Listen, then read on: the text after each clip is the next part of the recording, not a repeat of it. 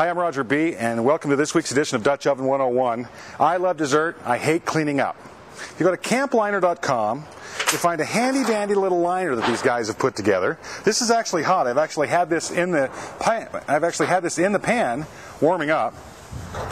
You put it in the bottom of your Dutch oven and nothing sticks. This thing is awesome. It's even got a seal up here on the top where the lid's going to kind of fit.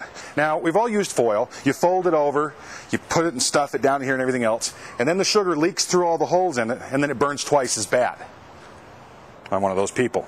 So I'm excited about trying some of these liners. You can find them on the web, by the way, at campliner.com. Now, we start off with the old standard refrigerator biscuits. Okay, they're refrigerator biscuits. When I was a kid, we called them refrigerator biscuits. I don't know why.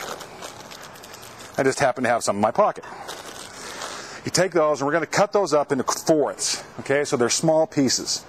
Then we're going to, while we're doing that, we'll have some butter in the pan here, and we're going to go ahead and melt the butter in the bottom of the pan.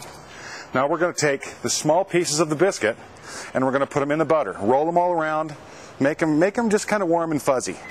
It's going to make it all the caramel stick.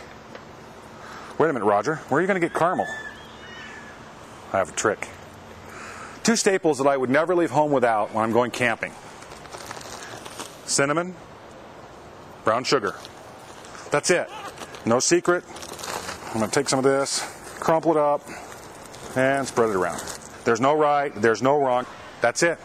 Smooth it out with your hands. Okay, here's the hard part. Put your coals on top. Make sure the coals are on the bottom. This is really nice because this liner fits over the top. I can actually pop it down like this. I can actually run it up the side of the lid. I really like that liner. Well, it's the moment of truth. How'd the monkey bread turn out? Check this out. Dessert for one, baby. And those are all mine. Remember earlier we talked about the camp liner? Check this out. That's my cleanup. I'm Roger B. It's Dutch Oven 101.